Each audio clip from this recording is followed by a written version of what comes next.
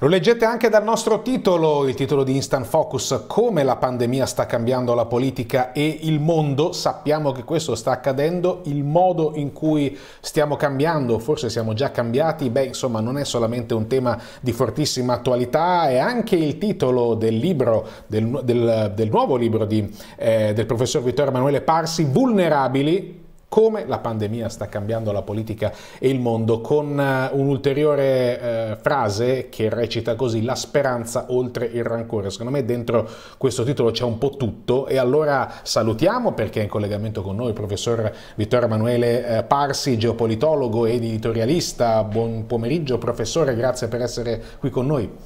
Grazie a voi, buon pomeriggio. Allora, eh, io partirei proprio dalla prima parola che ha usato come titolo del libro, vulnerabili. Mai come oggi, come in, questi, come in quest'ultimo anno, ci siamo scoperti vulnerabili, insomma. La pandemia ha accelerato, come spesso si dice, determinati eh, fenomeni che erano già in corso e forse, insomma, abbiamo capito forse più a livello europeo che a livello eh, diciamo rispetto magari a Stati Uniti, Regno Unito, Cina, però insomma non voglio anticipare troppo, troppo eh, i temi, per cui io parto proprio da, da, da, vulnerabili, nel senso che il titolo poteva anche stare, stare bene anche senza no? la, la parola vulnerabili e invece c'è, anzi è la prima parola, professore. Sì, è la prima parola perché anche questa volta è la parola da cui è partita la mia riflessione nel senso che guardandomi intorno mi sono detto nell'arco di quest'anno, e lo devo confermare purtroppo, che il paradosso è che noi siamo appunto, come si dice spesso, la specie più infestante del pianeta, più minacciosa per l'ambiente naturale.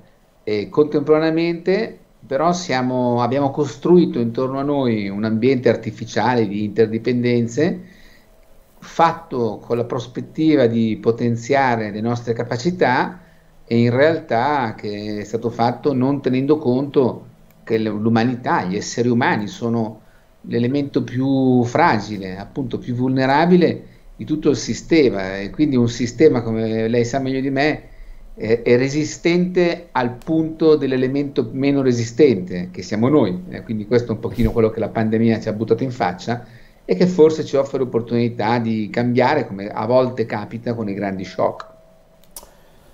E dunque eccoci come, eh, la pandemia, ecco come la pandemia sta cambiando il mondo e anche ovviamente eh, la politica. Io salterei per un momento questo passaggio che poi è quello che contiene forse il, eh, il succo insomma, del, del, discorso, andando poi alla speranza oltre al rancore. Cioè io metterei davanti insomma comunque l'idea che a fronte di tante difficoltà, a fronte di come ad esempio insomma i vaccini che finalmente si parla di vaccini, ma ecco che arrivano col rallentatore. Prima ho fatto una battuta forse infelice, ma secondo me efficace, per fare un esempio, nel Regno Unito avanti così... Ehm, vaccineranno anche gli alberi, noi invece eh, ci manca poco che siamo ancora eh, sul balcone a sventolare le bandiere, andrà tutto bene. Eh, però, ecco, la speranza oltre il rancore mi pare di capire che insomma anche lei professore che comunque ha sempre un occhio molto realista e quindi tendenzialmente non propriamente ottimistico, spesso, eh, ehm, eh, quantomeno questo accade spesso, insomma vede una, una, luce in fondo al tunnel anche in virtù di una, un, un'espressione che appunto usa sul titolo, cioè rancore, quindi di una, di una cosa, mi permetto di definirla così, che eh, come è da sempre insomma insito nei nostri, nei nostri cuori, insomma, e quindi sia a livello individuale sia evidentemente anche a livello di eh, rapporti col prossimo e questo può valere anche nei rapporti tra paesi. Sì, beh, diciamo che tutti noi che siamo cresciuti con Vil Coyote e non con Peppa Pig, quando okay. pensiamo alla luce in fondo al tunnel, pensiamo subito al treno contro cui si schianterà il nostro amico Vilcoyote. O, Però, o anche Fantozzi, professore, se mi, se mi, permetti. Eh? anche Fantozzi, allora, se mi, se mi permette eh, la battuta. Eh, lì, no? Ero da Grandicello quando c'era Fantozzi. Ok, ok, ok, ci sta, ci sta.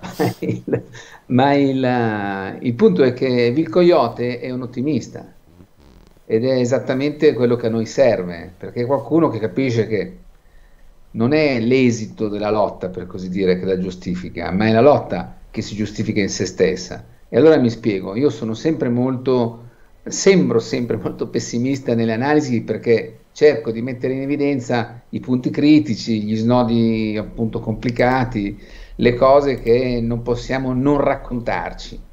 Dopodiché, finita quella parte, inizia la parte propositiva. Um, e, e, non vedo in me, non c'è in questo una contraddizione, nel senso che è quello che si fa nella vita, no? come dice una famosa frase, la vita è quello che capita mentre stiamo facendo piani per la vita. Ecco, allora io penso che questa è la natura umana. Perché la speranza oltre al rancore? Perché pensando alla fase 1 e alla fase 2, nella fase 1 in fondo era tutto sospeso, era sospesa la nostra vita, era sospesa la politica. Poi è arrivata proprio la politica e ci ha ridato speranza, perché questo va riconosciuto. No? Il Next Generation EU è stato un elemento costruito politicamente per portarci oltre, per disegnare un futuro. Ce l'ha fatto intravedere. Dopodiché è tornata anche la politica nella lotta per, per il potere, come è normale che sia, e purtroppo in Italia, come voi conoscete meglio di me, con questo un po', diciamo così, eccesso di personalismo narcisistico. Eh, questo ha provocato un sentimento, paradossalmente, di iniziale grande fiducia, è finita, è fatta, poi dopo il rancore perché man mano che vedevamo che i vaccini non arrivavano e via discorrendo, le persone si arrabbiano perché, lo, lo dicevo già l'anno scorso, non si può pretendere di stare tutta la vita su un pianerottolo e che ci stiano gli altri. Allora c'è questo duplice sentimento e io cerco di mettere in evidenza in questo libro che insomma è frutto di tanti mesi di lavoro ed è frutto di un anno di esperienza che abbiamo condiviso tutti noi, nostro malgrado, proprio questo, ri, ri, centrando sulla politica come elemento fondamentale che contiene la capacità di immaginare un futuro e quindi non solo di prevederlo, perché la politica non può limitarsi a prevedere, deve immaginare, deve portare verso, e un tempo presente che è fatto di competizione politica per il controllo, diciamo così, del processo. È normale, è fisiologico, perché se io governo processo, più facilmente andrò verso il futuro che desidero. E questa sintonia che va continuamente regolata, un po' come quando si va in barca, che non è che uno prende le manovre e le inchioda no, sul, sul, sullo scalo dicendo vabbè, allora questa è quella giusta. No, devi continuamente regolare, avendo una cautela chiaramente. E questo lo vediamo nel, proprio nel, nei rapporti tra paesi, nei rapporti tra politica ed economia, nei rapporti tra attori sociali e la, e la cautela è, è, quella che per, man, per, arrivare a un punto di equilibrio, a una navigazione no, che non sbandi, ogni tanto bisogna dare dei bei colpi di barra. Il moderatismo al timone non serve a niente. Se sei sulla rotta giusta puoi fare attenzione, ma altrimenti devi continuamente non compensare una forza con l'altra, ma in qualche modo usare una forza per esaltare l'altra. È un po' come quando io parlo di individuo sociale proprio in questi termini. Da un lato la nostra individualità e l'apporto che noi diamo alla società in cui viviamo, dall'altra parte la società in cui viviamo ci fa essere individuali e non semplicemente naufraghi alla Robinson Crusoe su un'isola. Per cui eh, questo è, è una cosa semplice per molti aspetti, che c'è sempre stata Eppure ogni volta ci ricadiamo pensando di essere di fronte a qualcosa di incredibilmente complesso. No, è una cosa drammatica, spesso drammatica perché mal governata, ma non è più complesso di tante altre fasi che abbiamo attraversato. Eh beh, eh, d'altronde insomma è anche un po' un tentativo, se si vede che si va che controvento non si va avanti, in qualche modo bisogna cambiare rotta e provare ad andare di bolina o insomma in altre, in altre situazioni. A me è venuto in mente prima quando ha detto eh, non è importante l'esito della lotta a volte, ma è importante la lotta stessa. Eh, andando avanti a citazioni mi viene in mente l'attimo fuggente in cui il ragazzo finalmente si dichiara alla, alla, alla ragazza che le piace e gli dicono vabbè com'è andata?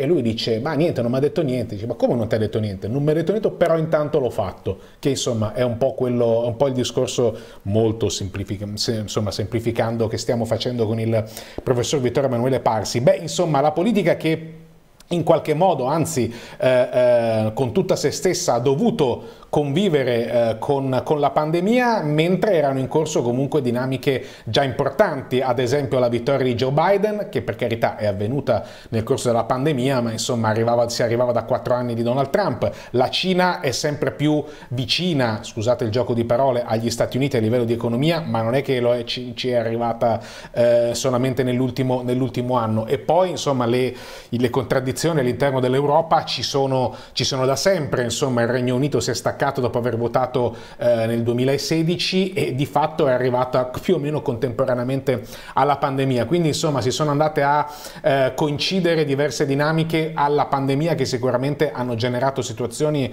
eh, nuove, interessanti o quantomeno lo, eh, le, genere, le, genereranno e eh, leggo insomma i nuovi orizzonti europei dal libro La sfida cinese all'egemonia americana, la rinascita possibile delle democrazie occidentali. Ecco, si guarda al futuro insomma, eh, anche con l'ambizione di aiutarci a trovare tutti insieme gli strumenti per cambiarlo a conclusione del... Ehm, dell'appunto il passaggio che c'è nel retrocopertina. Dunque, guardando al futuro, insomma, professore, considerata eh, il cambio di marcia degli Stati Uniti, la Cina sempre più vicina agli Stati Uniti e l'Europa che continua a convivere con, sue, con, i suoi contrasti interni, ed è un argomento che più o meno si è iniziato a diventare molto attuale dalla crisi del debito, se non prima, eh, che futuro sarà, insomma, come, come vede queste dinamiche tra, tra, grandi paesi come quelli che ho appunto appena eh, eh elencato elencato e citato? Beh, intanto un futuro che come sempre noi, proprio noi, noi singoli, eh, siamo in grado di influenzare molto di più di quanto non pensiamo normalmente. E su questo, questo lo sottolineo sempre perché, perché non si può essere rinunciatari, perché essere, essere rinunciatari spesso è una, come potrei dirvi, una, è, la, è la più grande delle scuse, non è colpa nostra, non potevo fare niente, ma non è quasi mai così. Allora, intanto una cosa mi preme dire. Eh, noi, ah, quando dico che la pandemia non è questa cosa così complicata, mi spiego bene, cioè, spiego meglio. Eh, voglio dire che rispetto alle sfide ambientali, per intenderci, i cambiamenti che ci sono richiesti per provare a vincere le sfide ambientali sono enormemente più complicati di quello che dobbiamo fare per riuscire a fermare la pandemia. Si tratta di fare una puntura, voglio dire, non c'è paragone con tutto il resto e stiamo impazzendo perché non riusciamo a fare le punture, non perché non abbiamo gli strumenti. Detto questo, a me sembra che il mondo si trovi, appunto non da oggi, lei lo sottolinea con molta precisione, cioè si trova in una situazione in cui abbiamo due grandi sfide in realtà. Una è la sfida della gestione dell'impatto dell'innovazione tecnologica Abbiamo avuto due rivoluzioni tecnologiche, una negli anni 70 che è iniziata negli anni 70 con il personal computer e poi ha manifestato i suoi effetti negli anni 90 e oggi abbiamo la, l'intelligenza artificiale. E beh, è, è, una cosa che come capite da soli, e meglio di me, eh, ha un impatto paragonabile a macchina a vapore e telaio meccanico nel Settecento. Mm. Ci sono voluti 150 anni per capire come gestire politicamente le conseguenze della rivoluzione industriale. Ecco, allora vorrei dire, stiamo gestendo, dobbiamo porci il problema di gestire la rivoluzione dell'informazione, dobbiamo iniziare a farlo però perché altrimenti da sola non si gestirà. E questa è la prima sfida che abbiamo e riguarda, come lei capisce molto bene, eh, il rapporto Cina, Stati Uniti, Russia, Unione Europea, perché il modo in cui la gestisci dipende anche parecchio dai principi che, a cui ti ispiri, l'aspetto normativo, le tue istituzioni politiche. Dall'altra parte c'è una sfida che anche questa viene da 50 anni ormai, progressivamente si è costruita in questo mezzo secolo, ed è il fatto che in questo mondo globalizzato, soprattutto dal punto di vista finanziario, noi siamo, i nostri sistemi democratici sono estremamente vulnerabili all'attacco che può provenire, alla minaccia che può provenire da attori economici che vengono da altri mondi, che vengono dalla Cina, dalla Russia, da paesi del Golfo, con buona pace del senatore di Scandici, ovvero da paesi che hanno un tipo di capitalismo che è strettamente legato al potere politico e in cui il potere politico lo controlla, per così dire. E questo significa che siamo permeabili, siamo vulnerabili in questo e questi rappresentano veri e propri cavalli di Troia, parliamoci chiaro. Ma dall'altra parte siamo anche difficoltà perché dobbiamo ristabilire un equilibrio interno rispetto alla concentrazione oligarchica sia di potere sia soprattutto di ricchezza che sta trasformando in questi decenni i nostri sistemi occidentali. Ed ecco allora che per poter guardare a un futuro bisogna mettere insieme questi due componenti. Ed è quello che tutto sommato sta provando a fare l'amministrazione Biden, perché da un lato mette in evidenza come la Cina la Russia hanno un deficit normativo e, e, e l'America sta facendo il classico lavoro che ha sempre fatto quando lo fa bene, di mettere in evidenza che la sua leadership è il male minore rispetto alle leadership di altri, che siano Hitler, Stalin, Putin o Xi, tanto per essere precisi, per essere chiari. E dall'altra parte però Biden ha lanciato il suo programma di recovery da 1900 miliardi di dollari dicendo questo è il piano più, prog- più progressista dai tempi della uh, Great Society, la grande riforma di Johnson, che fu quella che negli anni 60 mise a tema la questione delle, delle, dei diritti dei neri. Come sappiamo non la risolse, non è ancora stata risolta, ma è stata iniziata a essere posta e affrontata e comunque è evidente che nonostante tutto la condizione dei neri in America oggi è migliore di quella che fosse negli anni 60. Ecco allora secondo me dov'è la questione vera. Noi oggi stiamo, dobbiamo lavorare per pensare, guardando avanti, se ragioniamo politicamente, questo va fatto sempre, per pensare dove vogliamo andare, che futuro vogliamo e di conseguenza poi lottare, schierarci, dividerci, non c'è problema su questo perché la, in democrazia ci si divide e poi si trova un punto di sintesi, capendo che il conflitto politico è il modo in cui il conflitto sociale che è nelle cose viene depotenziato perché viene rappresentato, viene istituzionalizzato e gli si offrono delle risposte che se non c'è l'accettazione del conflitto, se non c'è divisione anche politica, questo voglio essere molto chiaro, quindi confronto aperto delle opinioni, rischia di trasformare la politica in semplice gestione del consenso, che sembrerà una cosa fantastica, ma nel lungo periodo, ormai il lungo periodo ce l'abbiamo contro il naso, eh, porta i sistemi a saltare per aria. Prima diceva che insomma poi ci si divide perché la democrazia è, è, anche questo, ci si confronta e ci si divide, mi pare di vedere, ci pare di vedere che rispetto insomma a Stati Uniti e Cina, per citare due paesi di cui eh, abbiamo già parlato, questa cosa succede un po' più frequentemente all'interno dell'Europa, evidentemente eh, siamo ancora ben lontani dall'essere gli Stati Uniti d'Europa e forse eh, era, questa era barra è l'occasione per magari non dimostrare di esserlo, ma cercare di avvicinarsi il più possibile. Le premesse non sono delle migliori però, oppure sì? Le premesse sono di difficoltà, non c'è dubbio, abbiamo visto no, solo per, per, riuscire poi a concretizzarlo questo Next Generation EU, come sono emerse le classiche rivalità, i classici, i classici discorsi di interessi nazionali intesi in maniera molto stretta, ma questo però appunto e, e, e realismo, bisogna prendere dato della situazione così com'è. Però c'è un punto, che nelle situazioni di crisi uh, gli equilibri preesistenti, diciamo anche gli equilibri uh, di Nash, no? in cui sei sì. molto lontano da un equilibrio ottimale, ma sei in una zona di conforto apparente perlomeno, da cui è difficile schiodarsi. Le crisi mettono in discussione tante zone di conforto e quindi in qualche modo consentono il movimento, un po' come il Jenga, no? Si ricorda la torre del Jenga che toglie un pezzo alla volta se Come no, certo. Eh.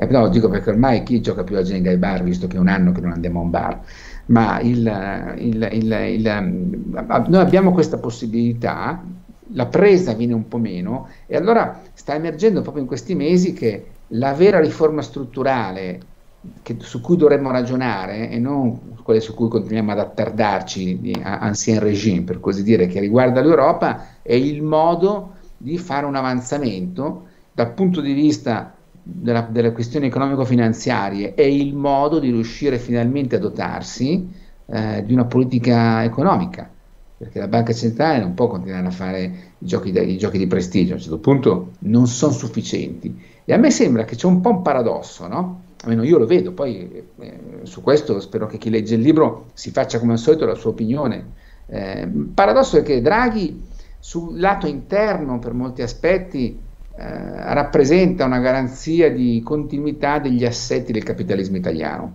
così come sono, eh, e per molti aspetti è lì per quello. Lo dico absit di ignora verbis chiaramente.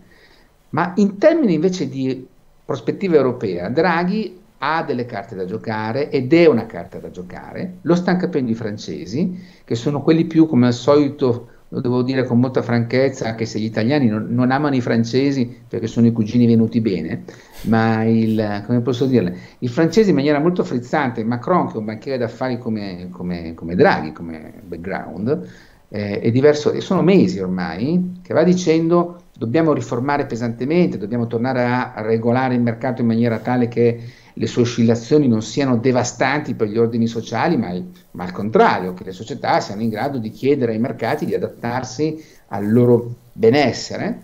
Eh, e dall'altra parte c'è una sponda chiaramente in Europa su questo. E in Europa eh, è chiaro che la Germania resta il paese più importante, ma non c'è la Merkel e ci vorrà tempo prima che i tedeschi eh sì. esprimano una leadership che sia all'altezza dell'ultima Merkel dal punto di vista europeo, perché la, la Merkel dei primi dieci anni è stato un disastro per l'Europa, parliamoci chiaro. Quindi a me sembra che ci sia un'opportunità e ci siano dei movimenti all'interno dei rapporti tra paesi europei che vanno in una direzione. Ci saranno sempre i cosiddetti frugali, ovvero i reali egoisti, che, che sono dei paesi piccoli, lo dico con la massima stima per le popolazioni, un grande affetto e ammirazione per le popolazioni anche del paese più, più piccolo del mondo, ma sono i paesucoli. Cioè lei capisce che l'Olanda, il Belgio, la Finlandia, l'Austria possono sopravvivere come no, a qualunque cataclisma, anche se arriva il meteorite, quelli vanno avanti.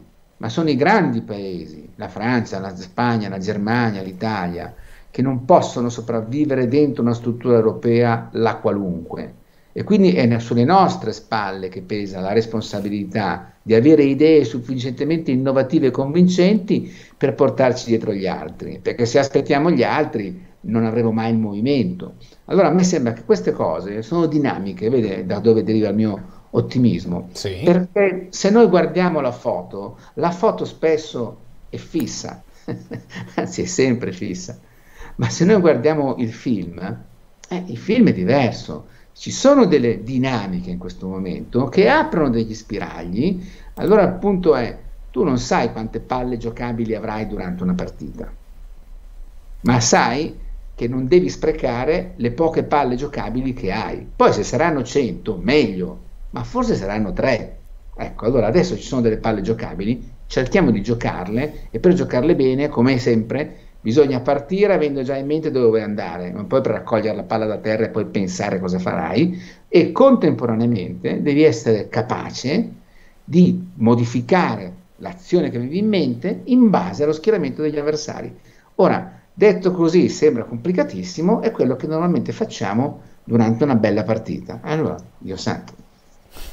Beh, insomma, poi a me piace sempre il professore quando conclude il suo ragionamento perché spesso la metta giù eh, come se fosse una partita. Voi magari da casa pensate che, st che stia parlando di calcio, ma tendenzialmente eh, Vittorio Emanuele Parsi le, le, sue, le sue metafore le fa col rugby, corretto? Sì, le mie ossa.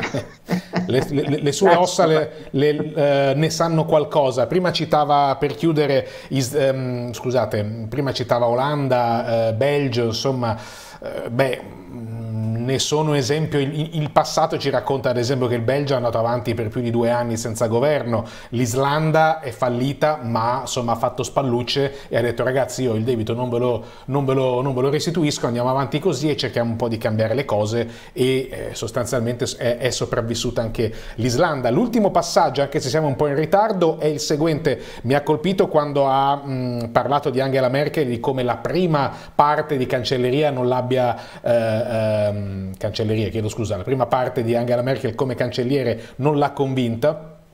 E allora le chiedo, siccome tempo fa eh, si parlava del debito, della crisi del debito e si parlava di un'Europa in una tempesta dove però non si sapeva chi fosse il primo, chi fosse il secondo, non si sa chi è l'ufficiale di coperta, insomma, eh, e, e, da lì il ragionamento su un punto, e cioè servirebbe un assetto, serviva un assetto straordinario da organizzare in un momento ordinario, insomma, per l'Europa che doveva gestire quella crisi. Quella cosa sostanzialmente non è accaduta, sono passati più o meno dieci anni, quell'assetto da assumere in tempi straordinari eh, nel corso di questi dieci anni è stato poi raggiunto secondo lei o siamo ancora in una tempesta in cui non si sa chi sia il primo, chi, chi è il secondo, chi è l'ufficiale di coperta e così via. Sintetico per favore, prof, prof che siamo... Aggiunto, dobbiamo pensare che sarà ancora più pericoloso perché noi navigheremo per i prossimi anni con un debito pubblico enorme, tutti gli stati europei, e, avere, e che è come navigare con un carico in coperta male assicurato.